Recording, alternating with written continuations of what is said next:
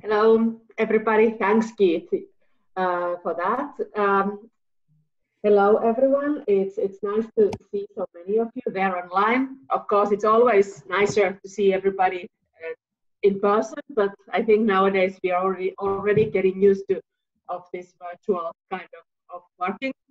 I hope all of you and your families are, are well uh, during this uh, very difficult time uh, we have had during during this uh, spring and uh, and this is indeed the topic of, of our of our um, first session session more or less here in, in this uh, webinar. Uh, like Keith already said, feel free to ask questions, raise your hand, or or keep comments in the chat chat box. Uh, the my perspective today is not so much about self-directed support; it's more general about the COVID-19 and its effects on services for people with disabilities. I have I, I tried to make it from European perspective. Uh, so here I'm more or less uh, maybe representing ESPD, the European Association for Service Providers. I'm a vice president of, of that organization. You, most of you are aware of and also members of. Of we, uh, it, it's good timing of, of this webinar we have today because we just had our EASPD just had its uh, yearly spring event. Unfortunately, we were we were supposed to be in Paris to have uh, three days there. You all know we were not. we, we we were having virtual meetings instead. Um, so we were just saying that the long days of meetings were there, but but not not, not the fun fun part of the of the conference. So so it was, uh, but it was good that uh, we, we I think I now have some quite up-to-date information about the, about the situation in, let's say, more from the Brussels perspective about the about the about the COVID-19 and the effects, because we have been we have been discussing about it during during the last days quite a bit, and but of course, if some of you uh, would like to add something, and then I know you have a, a, lot of information about these topics, also feel free to do so because I have mainly tried to gather gather some some views on, on the current, current situation and also then a little bit make a bridge to the to, to Simon's presentation, which will be more, of course, uh, about self-directed support. Also, I have to say uh, I'm sorry if, if there will be some some noise or some some background noise or some disruption. I have my kid at home. I'm sure most of you are aware of are facing the similar situation. So if my five-year-old is, is popping in, try try to bear bear that. So we can move on. So more, I, I try to make it more on, on the point of view of, of the services, but of course we have to say uh, that the situation in, in Europe, it's very, very different in, in country to country.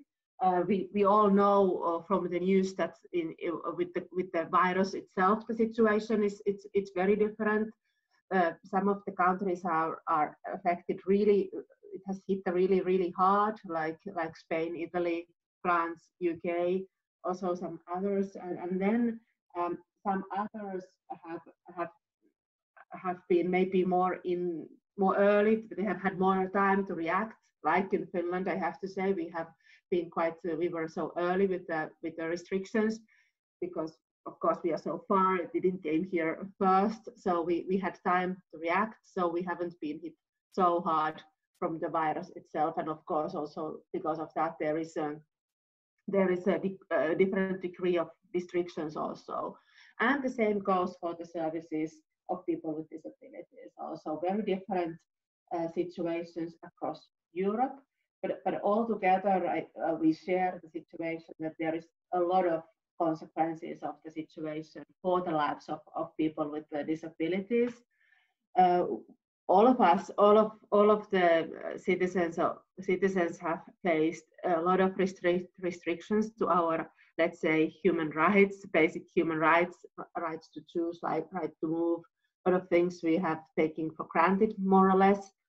Uh, they have been restricted quite a lot, and and the same goes for people with disabilities. And as always in times of, of different kind of crises, it hits really the hardest for those most vulnerable ones. So people with disabilities have faced a lot of lot of difficult issues during this during this pandemic and uh, it goes for people uh, who are living let's say in living in in different kind of supported by social services living in group homes and so on uh, of course for, for many people it's very difficult. For, many families uh, they are it's very hard hard for them. Uh, a lot of support systems for families have been cut and they have to have to survive on on their own, uh, also together with the restrictions in movement and so on. Very difficult for, for many people and families, people with autism spectrum, and, and for many for many others, a lot of uh, very essential therapies and so on have been cut, as well as almost through Europe, for example, the daytime activities, employment services have been cut, have been cut uh, really, really, so that people have been really um, not to know what to do during during these months. And it has of course a lot of a lot of consequences for people. And we have to bear in mind that of course with people with disabilities especially people with intellectual disabilities there is also very big social psychological difficulties when it's difficult to explain what it's all about uh, who there is nobody to blame about it uh, and and things like this and uh, but many organizations have prepared very good, easy to read materials about the COVID-19. For example, like uh, Plena inclusion, inclusion is well presented in our webinar. You have done excellent material, for example, and, and many others. Uh, and it's really very much needed. A Human Rights Commissioner uh, made an made a statement. People with disabilities must not be left behind in this crisis. Uh, with, uh, with, the link, you can you can read it if, if you haven't seen it so far. I, and I think it, it's fundamentally important. You can go to the next slide. Thanks. So some of the some of the so together with all this, as as like like said, uh, the the the lives of people with disabilities have been really uh, really restricted and their rights have been limited in, in a very many ways and and this goes and this hits of course them also because the services have been affected so badly, so badly in, in many, many, basically all of the countries. So therefore, ESPD, which is, a, a, like said, European Association for Service Providers, uh, has been very active during during this pandemic, and and and there is few actions and maybe if some of you is not following them already maybe it, it could be useful or, or you might find some in, interesting information from these. ESPD is organizing week, weekly webinars on, on Wednesday on Wednesdays addressing all topics of issues of service provision for people with disabilities. For example, last week the topic was ethics and the situations in which in, in some of the countries people with disabilities has been left left out from intensive care and ethical issues related to that. Uh, and, and, and then last week, week before that, the digitalization of services and, and so on. And next week, the topic will be um, more or less the exit strategies, how to come out from this crisis and, and so on. There is the Facebook group. I think it's very active and, and there is really a huge amount of very good material material from from all across Europe. Very important is to, to contact with EU policymakers. Uh, and ESPD aims to add, address uh, three roles of European Union, Union, coordination, legislation, and funding. ESPD has identified a number of priorities for EU, which it should consider in response to the situation regarding the threat of social service provision, and the dialogue between ESPD and the EU institutions is ongoing. We can move on. Uh, uh, and very important is the awareness raising. Uh, in ESPD's webpage, you can find very good page on COVID-19, collection of data from grassroots organization, and a big research on the impact of COVID-19 in the sector will be launched in the coming weeks addressing issues for staffing organizations and service delivery. So I'm looking forward to that. This is not an action of, of ESPD, but I think this is very a very good source of in, information. This web page I have put here the LTC COVID uh, and this is uh, gathering information regarding the long-term care and COVID-19. Uh, I think we have all faced in our uh, societies the fact that in different kind of long-term care homes, there has been a lot of uh, deaths and a lot of a lot of people. Of course, it goes especially for elderly care, but also I think in disability disability sector. And in this um, page, there is a lot of information and a lot of uh, this and if there is country reports and conclusions and, and made of these and so on. So if you if you have interest on, on that, you can find a lot a lot of information from that web page. You can go on. Uh, sorry? Maybe it was, so if, if you have a question, you can raise your hand or I can try to look at the web, uh, the chat box also. But if there is something in the chat, maybe Petteri or Heidi, you can you can uh, say say that because I'm not sure I, I notice it at the same time when I when I speak. Yes, so, we will we will thanks, check the the box. Yes, thanks. Okay, some some some some um, some uh, fundamental topics about the situation on service provision at the moment. Uh, so the, the starting point that with the growing spread of the coronavirus, many services have been put on hold, leading to the severe funding and staffing difficulties. It's, uh, it's only a matter of time before the challenges met by social service providers will become inevitable for many. So I think uh, all of us have faced, like I said already in our countries, that many of very fundamental, very important social services have been cut, uh, cut in, in this situation. And of course, this is a tragic, tragic for the people who use these services, but also it makes it very difficult, in especially in many, in many countries, it makes it very difficult for uh, providers to to be able to cope with the situation, especially when it when it uh, when it takes a long time and so on, and it it creates a lot of difficulties, of course. Uh, also, uh, uh, one one of the one of the point of view is is staffing. Uh, because uh, the sector is already suffering from shortages of staff and the supply of service provision will be reduced to the point of many services will simply not be able to run.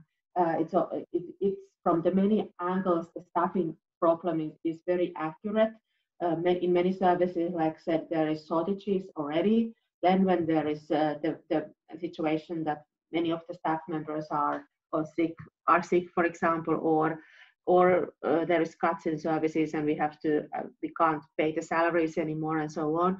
Uh, so it's it's very difficult to have enough uh, have sufficient amount of staff in the, in the services in the current current situations.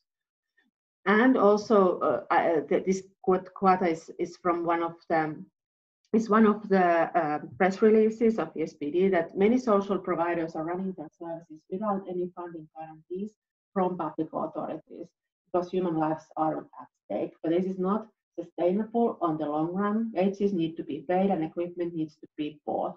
Politicians, politicians, politicians and public authorities must, must back up their promises with action and guarantee funding for social services.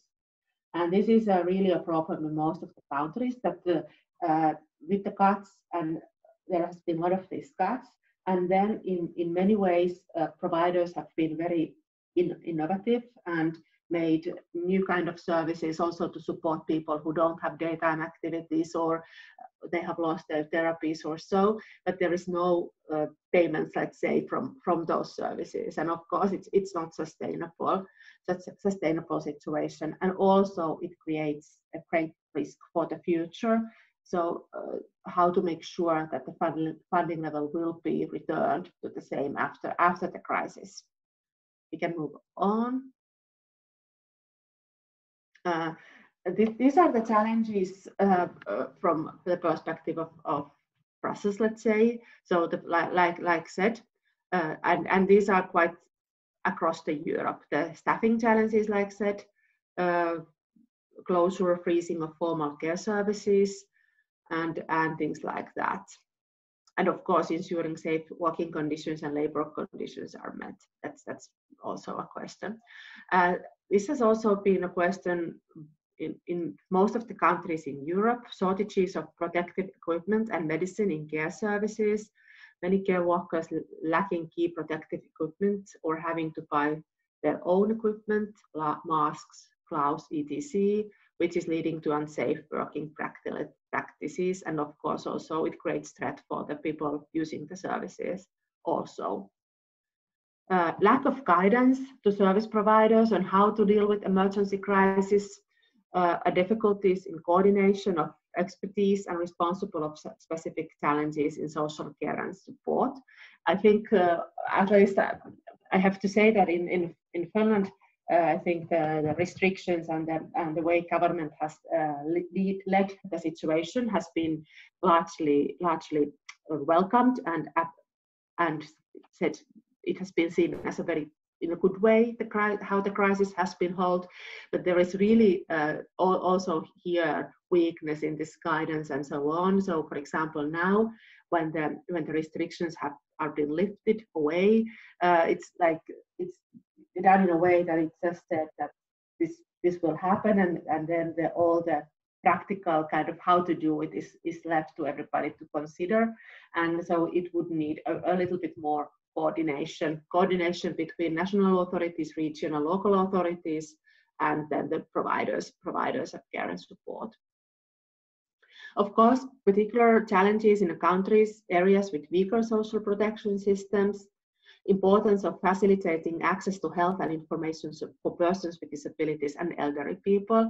Like already said, uh, there is a lot of practices across Europe uh, where um, people with the, who live, for example, in long-term care homes. And it doesn't have to be care home. It can be uh, for people with disabilities, a, a, group home with, with young young people living there who have rented a flat from that kind of um, of that kind of kind of entity, let's say, uh, and they are all dealt, for example, with the same way uh, from the authorities. For example, uh, it's an example from Finland. Uh, there is uh, like mo in most countries in Europe, there is the, uh, these restrictions that in the, in these group homes or social care units, you can't visit. They can't. They don't take visitors there. So, for example, family members can't can't visit people, a person with disability who has rented a home from from a group home, and it's it's of course very. Uh, um, I don't know how to put it you know in a well well but it's uh, it can be controversial that uh, really uh, a person with 85 with multiple diseases it put totally in the same category that the person with disability of 25 who doesn't uh, person with disability is um, is not a risk group let's say just because he or she has a disability. So and now they are putting in the same like group uh, along based on the the living arrangement.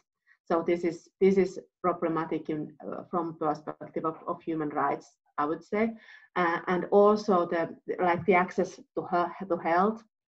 There is a lot of uh, um, issues that the, the, the health topics that the, the, virus is taking care of in in the social care units. Let's say, even if um, there might not be the the knowledge or or or equipment to do, to do so.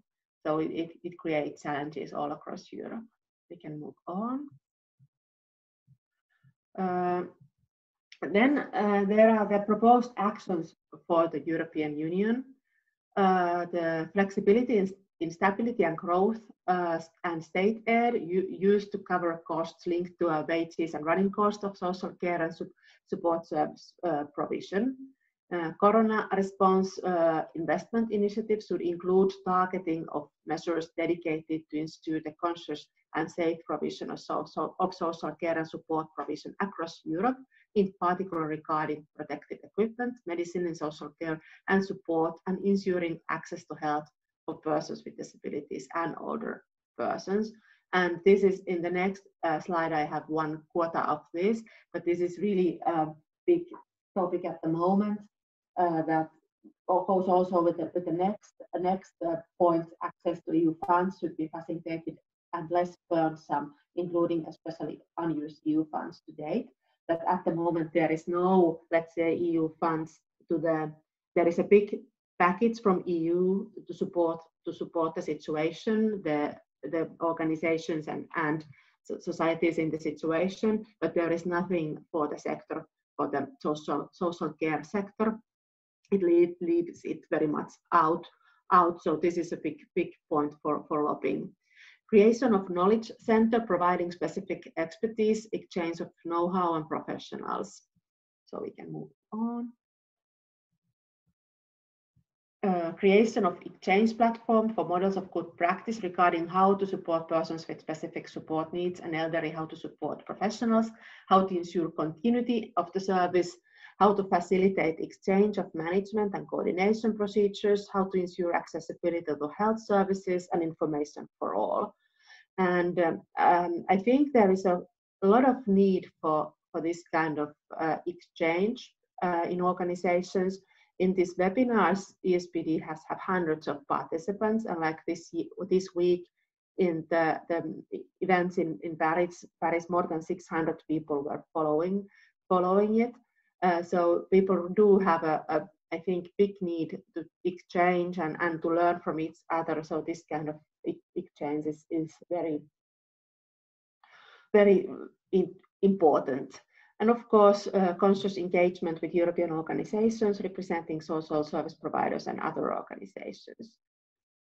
So this is it. And, and this good I have here, it's, it's regarding the, the investment initiative and there is no, uh, and the fact that there is at the moment uh, nothing for the social, social sector there.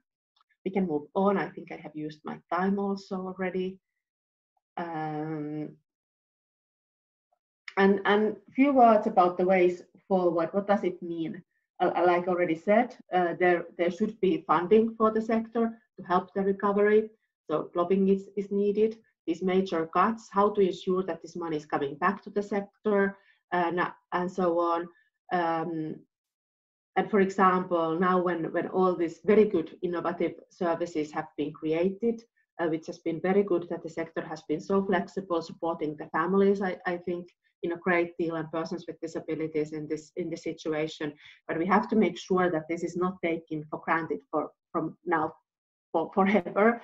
Uh, not all people, even if they have used now, for example, digital services, because there is nothing else, it's not inevitable that all of them want to use them uh, after the crisis is over, for example. So it doesn't create the situation that uh, um, that now when there is this digital service for the therapy or for the daytime activity that and the person has used it that he or she doesn't want to use the actual service anymore so we have to make sure that uh, these very good initiatives which has been helping people and i'm sure there is also a lot of initiatives which can be useful in the future also so that it's not everything what's offered in the future. I think that's very important point uh, to work together with people with disabilities, the families and the providers to make it make make it sure because after the after the crisis it will be so many so much economic difficulties in all the societies that there will be I'm sure a lot of uh, lot of uh, temptation to cut